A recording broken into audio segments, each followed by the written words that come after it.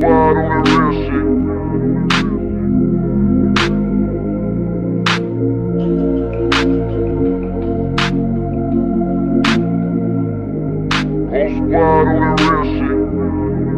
Whole squad on that real shit.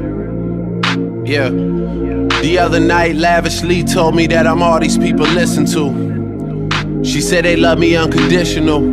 Imagine how I feel to watch another nigga at the top. You know that if you wasn't you, you would be dissing you, dog. Damn. Okay, from that perspective, I see what you talking about. No way to soften that. Cause me, I was trying to find out where I lost him at, but maybe I ain't lose him at all. Maybe I keep moving forward and they're just stagnant, they ain't moving at all. But when they need their favor, who do they call? Maybe I'm searching for the problems, asking what was said and who was involved. Too focused on people's feedback and proving them wrong. They say the shoe can always fit no matter who for this song. These days feel like I'm squeezing in them. Whoever won before just wasn't thinking big enough, I'm about to leave them with them. Cause if I run the game in these, man, the seams are splitting. No pun intended, but they smelling defeat in the air.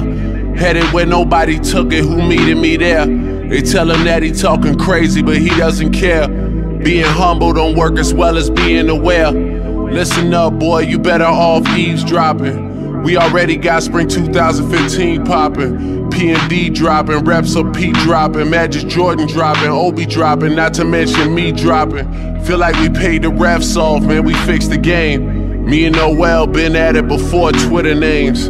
Yeah, been on the move like the lease is up. And I can't even name one person that's keeping up. Damn, fuck how it was in the past tense. Ask yourself, how do we match up now?